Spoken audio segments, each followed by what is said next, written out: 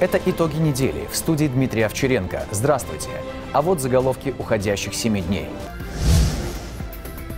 Электронное обращение, прямой поезд и вкусный обед. С нового учебного года изменится рацион питания школьников. Как себя показал экспериментальный проект? Люди в белом. В Беларуси отмечает День медицинского работника. Если нет любви к людям, то врач не может быть хорошим врачом. Где время измеряют в жизнях? До слез. В Бобруйске прошли выпускные вечера. Не просто вот уроки, здесь действительно дом. Сколько ребят попрощались с детством? Так выглядит счастье. По программе «Семейный капитал» открыто почти 127 тысяч депозитов. На первого ребенка мы назначаем 605 рублей. Как еще поддерживает государство? Девушки рулят. В Бобруйске выберут лучшую автоледи. Приглашаем всех участниц, каждую ждет ценный приз. Какие критерии? Массовые протесты, страшная трагедия и американское правосудие. Дональду Трампу предъявлено 37 уголовных обвинений. В чем уличили экс-президента? Система сдерживания. Президент посетил одно из предприятий военно-промышленного комплекса. Ранее напомним, Александр Лукашенко давал поручение организовать в стране производство наиболее используемых типов боеприпасов. В ноябре прошлого года эта работа началась. Сегодня в Беларуси изготавливают артиллерийские снаряды, авиационные бомбы и опытные образцы оружия. Многие успешно прошли испытания. Оказывается, это очень нужно в армии. Ракеты ракетами, высокоточное оружие, самолеты, вертолеты, леопарды, бредли, которые уничтожаются так же, как и э, советские э, наши э, танки и БМП, мы это увидели недавно в результате первого этапа контрнаступа.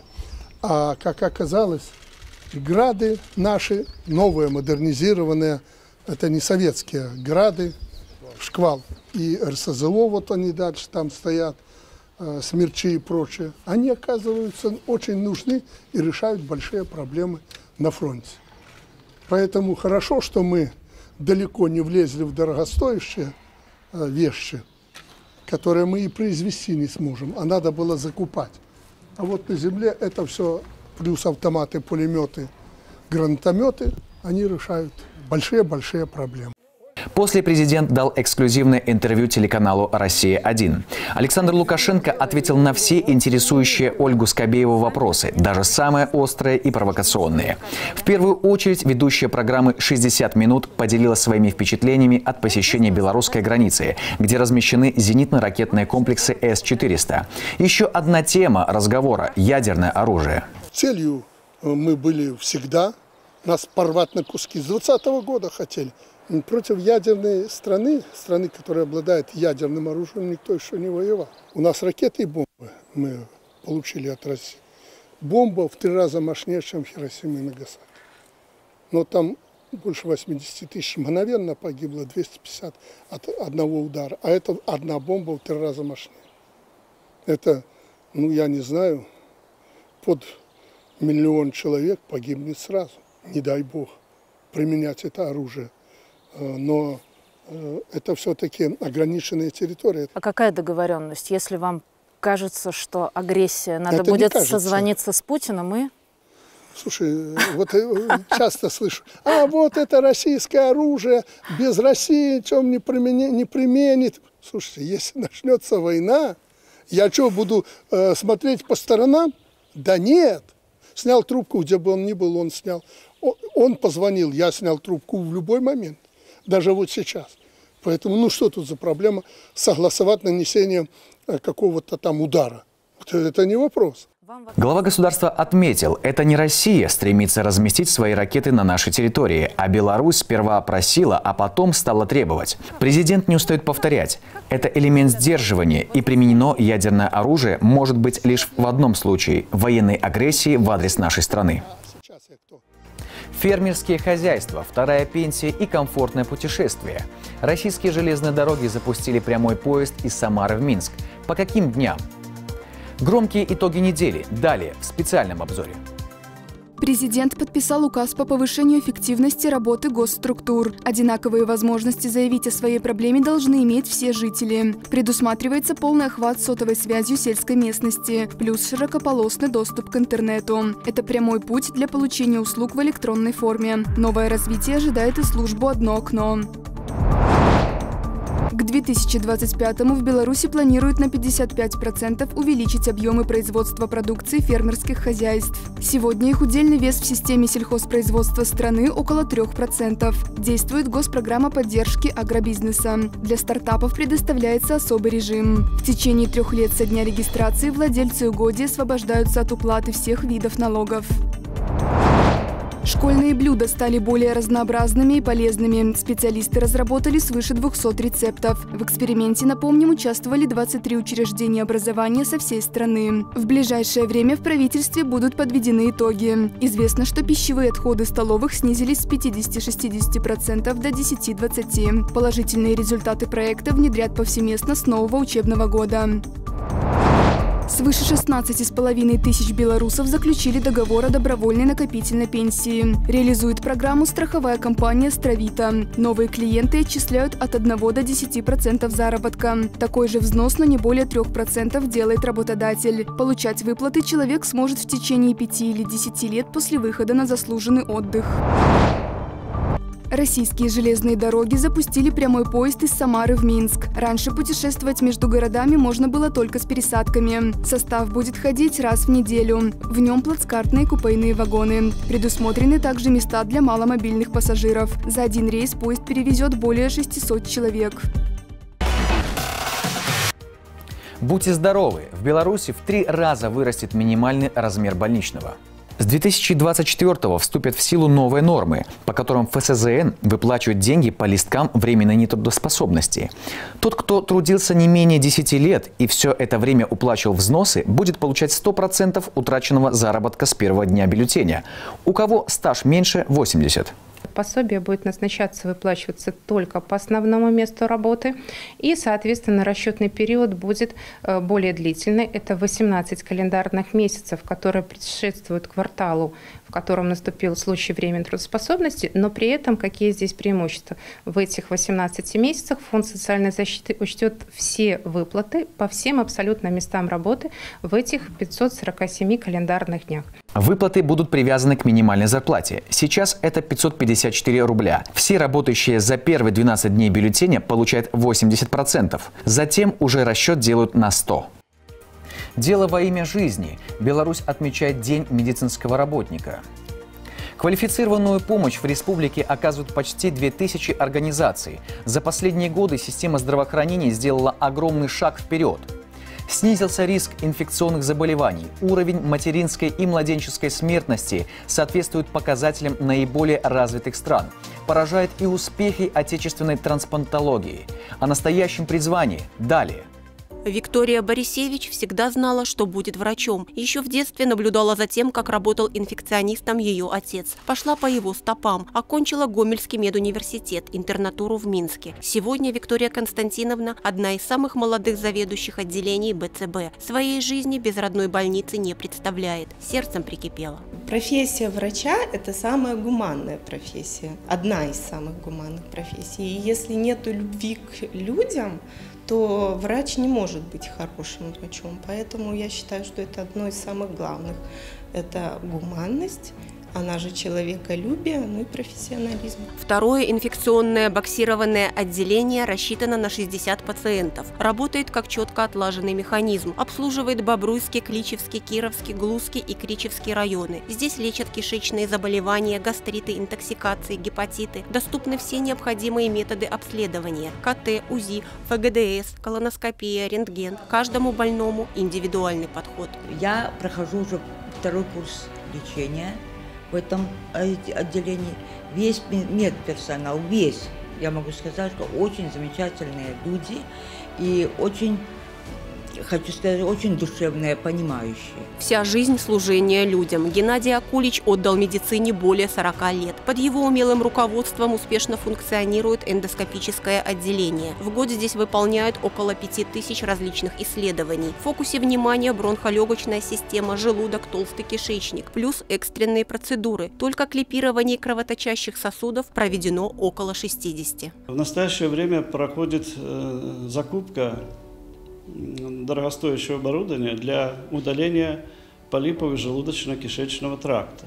То есть э, эта процедура выполнялась, но сейчас э, возобновляется, и будет это все делаться на новом современном уровне. В Бобруйске в учреждениях здравоохранения трудятся 5940 человек, 918 врачи. Следуя зову сердца, они посвящают себя благородной миссии – спасать жизни. В помощь современное оборудование. За полтора года приобретены новые наркозно-дыхательные рентген-диагностические аппараты УЗИ, ИВЛ на 6 миллионов рублей. Обновляется автопарк. Закуплено 9 машин медицинской и 2 скорой помощи. Завершено строительство системы лечебного газоснабжения больницы имени Марзона модернизирован ряд кабинетов. Ты помогаешь людям, ты радуешься, когда человек выздоровел.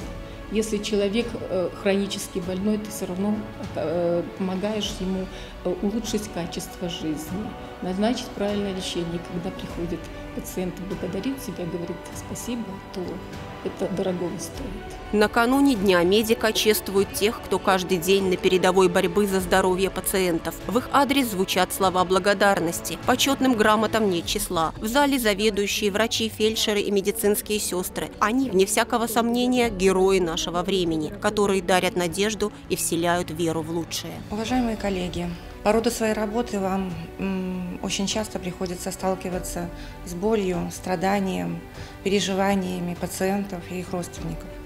Но несмотря на это, я хочу пожелать, чтобы в ваших сердцах всегда оставалась доброта. Домашний очаг был всегда наполнен теплотой, чтобы ваши близкие были всегда здоровы. Ну и вам, конечно же, крепкого здоровья. В системе здравоохранения страны работают около 40 тысяч врачей и 120 тысяч среднего медперсонала. За последние годы белорусская медицина сделала огромный шаг вперед. Снизился риск инфекционных заболеваний. Уровень материнской и младенческой смертности соответствует показателям наиболее развитых государств на планете. Поражают успехи отечественных отечественной трансплантологии. Служба людей в белых халатах стала особо заметна в пандемию. Отбросив эмоции и страх, они смогли мобилизоваться и дать отпор коронавирусу. Татьяна Горбач, Станислав Чечерин. Итоги недели. Весомая поддержка по программе «Семейный капитал» открыта почти 127 тысяч депозитов. Он назначается при рождении третьего или последующего ребенка. В 2023-м сумма выплат почти 30 тысяч рублей. Большинство многодетных сообщили о намерении использовать средства досрочно. Это стало возможно с января прошлого года. Чаще всего деньги идут на улучшение жилищных условий, медуслуги и образование. За последние 10 лет количество таких семей увеличилось на 70%. Семье назначается пособие по уходу за ребенком, и его размер также значительно. Сегодня он превышает мини уровень минимальной заработной платы. На первого ребенка мы назначаем 605 рублей. Если в семье воспитывается еще один ребенок э, в возрасте до 18 лет, то размер пособия уже 870 рублей, и он выплачивается на протяжении трех лет. Поддержка государства начинается еще до рождения малыша. Женщины получают бесплатное, доступное и качественное медицинское сопровождение. К тому же, например, при появлении на свет первенца выплачивается единовременно 3,5 тысячи рублей. Они ждали этого дня 11 лет. В Беларуси прошли выпускные вечера. С детством попрощались свыше 53 тысяч учащихся. Ответственный момент вручения аттестатов и сертификатов централизованного экзамена – Впереди не менее важный этап – поступление в вузы. Об этом и не только. Татьяна Горбач.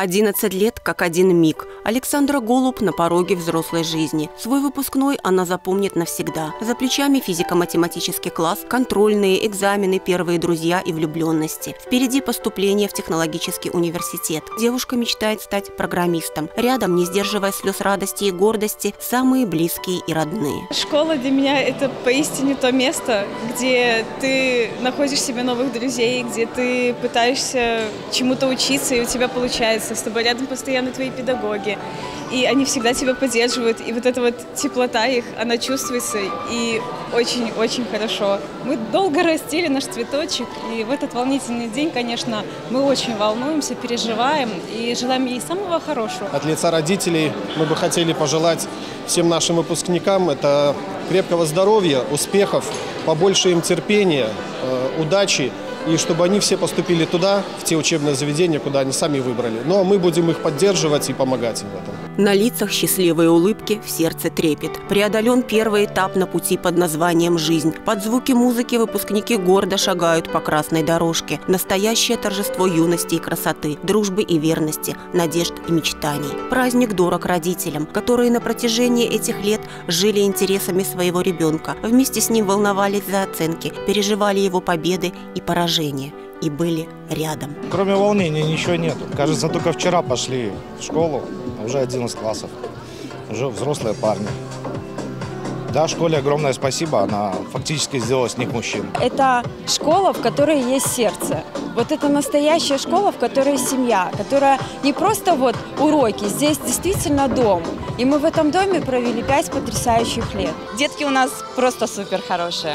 Школа просто, просто безграничные возможности дает. У нас столько медалистов, именно номинантов всяких конкурсов, исследовательских работ. Э, город, область, республика – Просто все молодцы. Звучат поздравления и напутствия во взрослую жизнь. Благодарностям и грамотам нет числа. И вот он, самый долгожданный и волнительный миг – вручение аттестатов. Момент дорог и учителям, ведь только они знают, как давались эти победы и чем заканчивались неудачи. Каждая школа гордится своими выпускниками, которые решительно настроены реализовать мечты и стать достойным будущим своей страны. Это на самом деле мой первый выпуск. Я счастлива, что у меня есть такие прекрасные дети, они искренние, они умеют поддержать.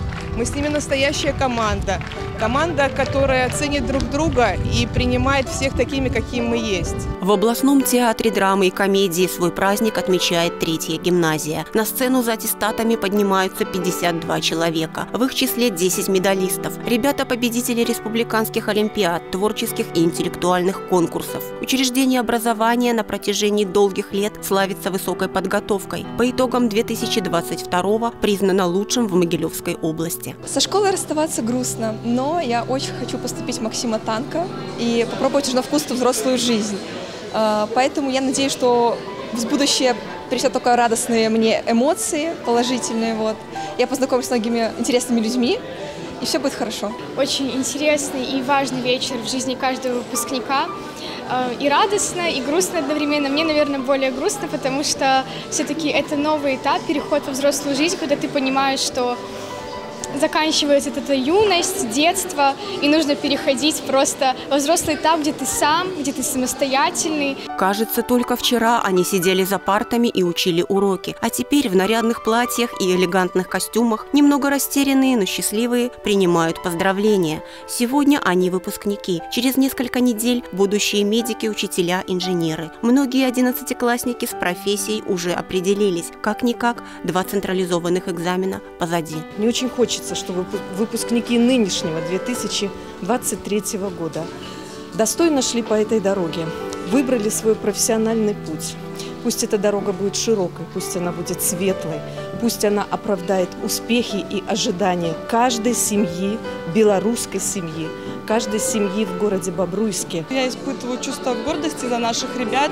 Мне хотелось бы, чтобы у них все сбылось, осуществилось и получилось, а чтобы они не забывали и радовали нас своими а, достижениями и победами.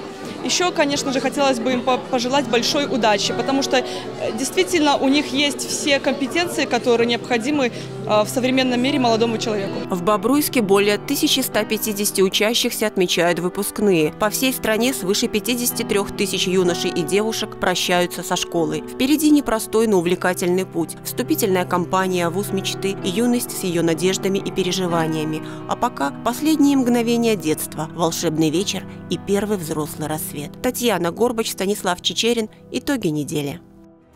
Гонка за приз. В Бобруйске выберут лучшую автоледи.